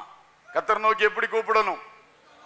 ஊக்கமா கூப்பிடுங்க கத்தர் சீக்கிரமா தருவார். அல்லேலூயா மெல்ல மெல்ல கூப்பிட்டீங்கன்னா மெல்ல மெல்ல தான் கிடைக்கும். கத்தருக்கு சோத்திரம் சில சும்மா நாளும் அப்படியே அப்படியே ஒரு ஜப குறிப்பாக சைடு ஜப குறிப்பாக வச்சுக்கிடாது மெயின் டிஷ்ஷாக வைக்கிறது சைட் டிஷ்ஷாக வச்சுக்கிடாது. அப்படி வச்சா என்ன கிடைக்கும்? மெயின் ஐட்டமா எடுங்க. ஆண்டவரே இது தாங்க. சீக்கிரமா தாங்க. வாடகைக்காரன் தொந்தரவு தாங்க முடியல. சீக்கிரம் கொடுங்க என்று கேளுங்க. வாடகை இடத்துல தொழில் செய்கிறவர்கள் சொந்த இடத்துல தொழில் செய்ய வேண்டாமா? அப்படி உள்ள ஐடியா இருக்கா இல்லையா? அந்த ஐடியாலாம் உங்களுக்கு இருக்கணும். ஏன்னா உங்கள் ஆண்டவருடைய கையில தான் முழு பூமியுமே இருக்குது. அல்லேலூயா. அவர் வானத்தையும் பூமியும் உடையவராகிய கரண்ட் போயிட்டா? கத்தருக்கு ஸ்தோத்திரம். வானத்தையும் பூமியும் உடையவராகிய சரி, தொண்டையும் பிடிச்சி இவ்வளவு சத்தம் போடுறானே கொஞ்சம் சத்தம் போட்டு உதவி செய்யலான். ஒரு மன உருக்கமாவது வருதா? வானத்தையும் பூமியும் உடையவராகிய ஆ? வானத்தையும் பூமியும் உடையவராகிய என்னெல்லாமோ சொல்றிய போல இருக்கு. கர்த்தர் அதுக்கு போய் என்னெல்லாமோ சொல்லிட்டு இருக்கிய கர்த்தருக்கு சோதரம் உங்க உங்க அப்பா தான் சொந்தக்காரர். கேட்டா கொடுப்பார். அதனால சீக்கிரமா கேட்டு வாங்குங்க. சொந்தமா குடியிருப்புகள் சொந்தமா தொழில் நிறுவனங்கள் எல்லாம் எழும்பட்டும். கத்த நாமத்துக்கு ஆசீர்வாதமா இருக்கட்டும். அல்லேலூயா. ஸ்தோத்திரம். அதுல தேவ சித்தத்துக்கு அர்ப்பணித்து ஜோம் பண்ணுங்க. கண்டபடி நீங்க தெரிஞ்செடுத்துட்டு போனீங்கன்னா லோத்து கேஸ்ல ஆயிடக்கூடாது அதனால நீங்க என்ன பண்ணணும்? கர்த்தர் எனக்கு இடத்தை காட்டும் என்று சொல்லி நீங்கள் உறுதியாய் ஆண்டவர் சித்தத்துக்கும் உங்களை ஒப்பு கொடுத்து நல்லா ஸ்ட்ராங்காவே கேளுங்க. கர்த்தர் சீக்கிரமாய் தருவார். அல்லையிலூயா அல்லையிலூயா ஸ்தலத்தை தருகிற தேவன் எல்லாவற்றுக்கும் மேலாக நித்திய வாசஸ்தலத்தை நமக்கு ஆயத்தம் பண்ணி கொண்டே இருக்கிறார். உலகத்திலையும் தருவார். ஆனால் அழியாத வாசஸ்தலம் நித்திய வாசஸ்தலத்தை என்ன பண்ணிக்கிட்டு இருக்கிறாரு? ஆயத்தம் பண்ணி கொண்டே இருக்கிறார். யோவான் பனி பதினான்கு இரண்டு. என் பிதாவின் வீட்டில் அநேக வாசஸ்தலங்கள் உண்டு. அப்படி இல்லாதிருந்தால் நான் உங்களுக்கு சொல்லியிருப்பேன் ஒரு ஸ்தலத்தை உங்களுக்காக ஆயத்தம் பண்ண போகிறேன். அலலூயா இயேசு இப்ப என்ன பண்ணிக்கிட்டு இருக்கிறாரு? இயேசு இப்ப என்ன பண்ணிக்கிட்டு இருக்கிறாரு? ஆ? நமக்காக ஒரு நித்திய வாசஸ்தலத்தை ஆயத்தம் பண்ணி கொண்டிருக்கிறார். அல்லேலூயா. ஆயத்தம் பண்ணின பின்பு நான் வந்து உங்களை என்னிடமாய் சேர்த்து கொள்ளுவேன். இயேசு சீக்கிரம் வரப்போகிறார். வந்து நம்மை கொண்டு செல்ல போகிறார். அந்த வாசஸ்தலத்தை பற்றி எபிரேய நிருபம் பதினொன்றாம் அதிகாரம் பதினாறாம் வசனம் சொல்லுகிறது. அத்- வாசிங்க. அதை அதிலும் மேன்மையான பரம தேசத்தையே விரும்பினார்கள். ஆகையால் தேவன் அவர்களுடைய தேவன் எனப்பட வெட்கப்படுகிறதில்லை. அவர்களுக்கு ஒரு நகரத்தை ஆயத்தம் பண்ணினாரே. அவர்களுக்கு ஒரு நகரத்தை ஆயத்தம் பண்ணினாரே. அல்லேலூயா. ஒரு வாசஸ்தலத்தை ஆயத்தம் பண்ண போறேன்னு சொல்லிட்டு போனாரு. எப்ரே நிருபக்கார் ரொம்ப கிளியரா சொல்றாரு. அது வாசஸ்தலம் எப்படிப்பட்டது தெரியுமா? ஒரு பெரிய நகரம். ஹலலூயா புதிய எருசலேம் என்கிற ஒரு பெரிய நகரம். ஹலெலூயா அப்படிப்பட்ட ஒரு பெரிய நகரத்தை அவர் ஆயத்தம் பண்ணி கொண்டிருக்கிறார். சீக்கிரமாய் வந்து நம்மை தம்மோடு கூட என்ன செய்வார்? சேர்த்து கொள்ளுவார். ஹalleluya அந்த புதிய எருசலேமிலே அந்த ஆவிக்குரிய ஞானார்த்தமாய் அழைக்கப்படுகிற சியோனிலே நாம் இயேசுவோடு பிதாவோடு வாசமாய் இருப்போம். அல்லேலூயா எல்லாரும் கர்த்தரை நோக்கி ஜெபம் பண்ண போகிறோம். கண்களை மூடுவோம். கர்த்தரை நோக்கி பார்ப்போம். ஒரு பெரிய விசுவாசம் இன்றைக்கு நமக்குள் எழும்பணும். அதுதான் இந்த செய்தியுடைய நோக்கம். எனக்காக என் கர்த்தர் எல்லாவற்றையும் ஆயத்தம் பண்ணுகிறார். அவர் ஏகோவா ஈரே தேவன். ஏகோவா ஈரே தேவன். எல்லாரும் வாய் திறந்து கேளுங்க. வாய் திறந்து கேளுங்க. ஆண்டவர் நோக்கி ஜெபம் பண்ண ஆரம்பிங்க.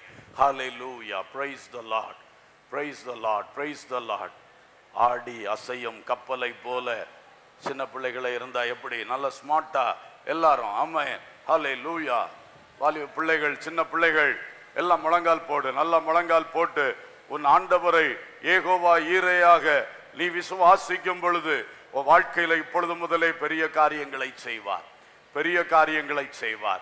வாலிபர்களே பெரியவர்களே கர்த்தரை நோக்கி பாருங்கள். உங்கள் தேவைகள் என்ன? விசுவாசத்தோட கேளுங்க. விசுவாசத்தோட கேளுங்க. நீங்க ஏற்கனவே கேட்டிருக்கலாம். திரும்ப கேட்கணும். திரும்ப திரும்ப கேட்கணும். இந்த வசனத்தை கேட்ட இந்த நேரத்தில் ஆண்டவர் நோக்கி கேளுங்க ஆண்டவர் நோக்கி கேளுங்க ஆண்டவர் இந்த காரியத்தை நான் உங்ககிட்ட கேட்டுக்கிட்டு இருக்கிறேன். எனக்கு இன்றைக்கு ஒரு பெரிய விசுவாசம். நீங்கள் இதை ஆயத்தம் பண்ணிக்கிட்டே இருக்கிறீங்க. நான் கேட்க கேட்க நீங்கள் ஆயத்தம் பண்ணிக்கிட்டே இருக்கிறீங்க. தானியேல் ஜெபம் பண்ண ஆரம்பிச்ச அந்த முதல் நாளே நீங்கள் பதில் அனுப்பிட்டீங்க. நீங்கள் உங்ககிட்ட காலதாமதமே கிடையாது. ஆமீன். ஹலை லூயா அப்படியே ஆண்டவர்கிட்ட பேசுங்க. வாய் திறந்து ஆண்டவர்கிட்ட பேசுங்க. ஆண்டவரே எனக்கு வேண்டியவைகளை நீர் ஏற்கனவே ஆயத்தம் பண்ணி கொண்டிருக்கிறதுக்காய் ஸ்தோத்திரம். இந்த காரியத்தை நீர் ஆயத்தம் பண்ணி கொண்டிருக்கிறீங்க நான் விசுவாசிக்கிறேன். எனக்கு ஒரு நல்ல வேலை வாய்ப்பு. அதை நீங்க ஆயத்தம் பண்ணி கொண்டிருக்கிறீங்கன்னு நான் விசுவாசிக்கிறேன்ப்பா. அப்படியே பேசுங்க. கவலைப்படாதீங்க. கவலையை விட்டுருங்க. கவலை ஆண்டவர்கிட்ட சொல்லுங்க. ஆண்டவரே இந்த காரியத்தை நீர் பொறுப்படுத்திக் கொள்ளும். இனி இதை சிந்திச்சு கவலைப்பட மாட்டேன். என் ஆண்டோட்டில் அடிக்கடி கேட்டுக்கிட்டே தான் இருப்பேன். கேட்டுக்கிட்டே இருப்பேன். கேட்பது என் உரிமை. கேட்டுக்கிட்டே இருப்பேன். கேட்பதை நீர் விரும்புகிறீர். நான் கேட்டுக்கொண்டே இருப்பேன். ஆனால் கவலைப்பட மாட்டேன். கவலைப்பட மாட்டேன்.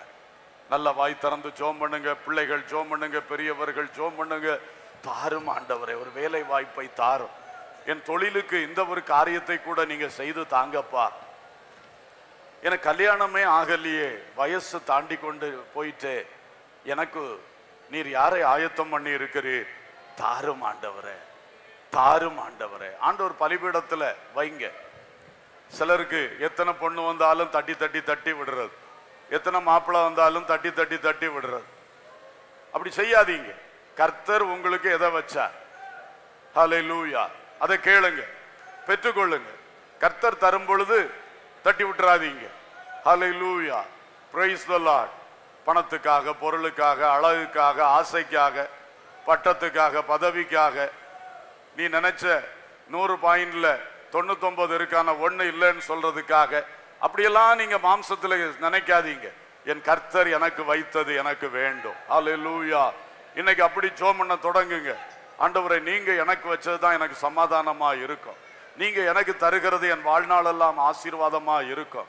அதனால என் ஆசைகளை எல்லாம் உங்க சித்தத்துல தந்துடுறேன்ப்பா எனக்கு தாரும் எனக்கு தாரும். எனக்கு ஒரு வாகனம் வேண்டும்.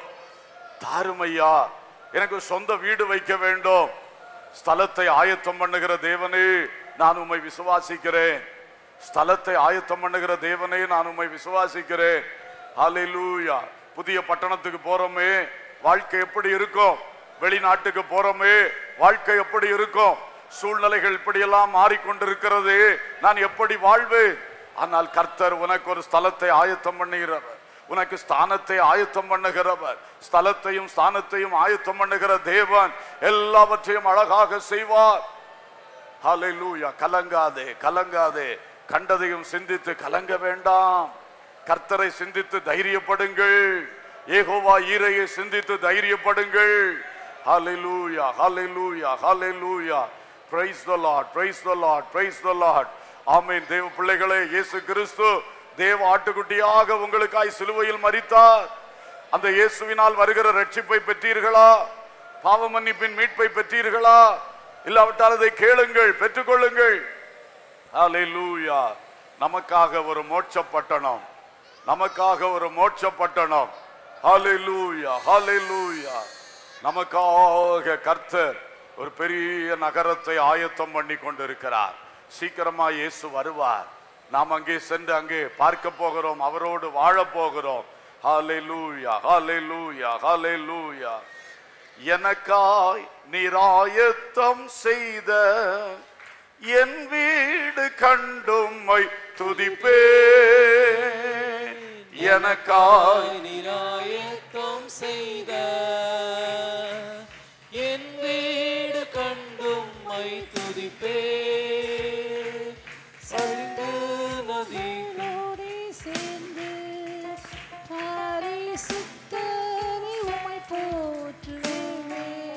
உற்சாக ஆவியோடு பாடுங்கள் ஊழியக்காரர்களே.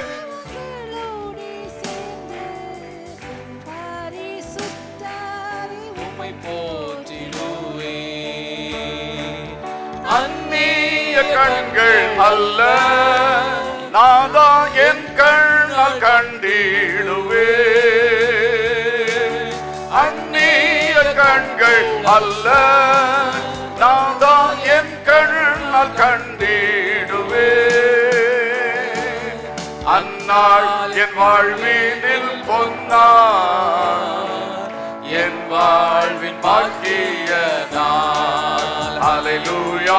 அந்நாள் என் வாழ்வினில் பொன்னாள் என் வாழ்வின் பாக்கிய நாள் எனக்காய் நிராயத்தம் செய்த என் வீடு கண்டும் மை துதிப்பேன். எனக்காய் நிராயத்தம் செய்த என் வீடு கண்டுமை துதிப்பே சேர்ந்து பரிசுத்தரை உம்மை போற்றிடுவே. சுத்தவான்களோடு சேர்ந்து பரிசுத்தரை உம்மை போற்றிடுவே. கண்கள் அல்ல. நாதாயன் கண்ண கண்டிடுவே. அந்நிய கண்கள் அல்ல. நாதாயன் கண்ண கண்டிடுவே.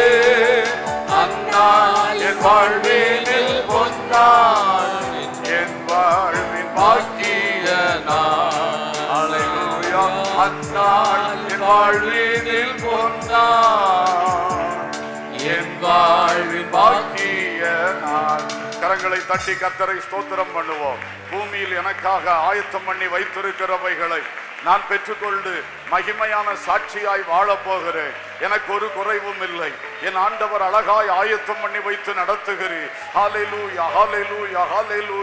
எல்லாவற்றுக்கும் மேலாக நித்திய வாசஸ்தலத்தை எனக்காக ஆயத்தம் பண்ணி கொண்டிருக்கிற தேவனு. Oh glory hallelujah. அந்த வாசஸ்தலத்துக்கு ஈடாக எந்த வாசஸ்தலம் உண்டு? ஒன்றுமே கிடையாது. அந்த நித்திய வாசஸ்தலம் மகிமையின் வாசஸ்தலம் ஓ மகிமையான மகிழ்ச்சியான ஹalleluya மகத்துவமான வாசஸ்தலத்துக்காய் நான் ஆவலோடு காத்திருக்கிறேன். கர்த்தர் எனக்காய் அதை ஆயத்தம் பண்ணி கொண்டிருக்கிறதற்காய் ஸ்தோத்திரம்.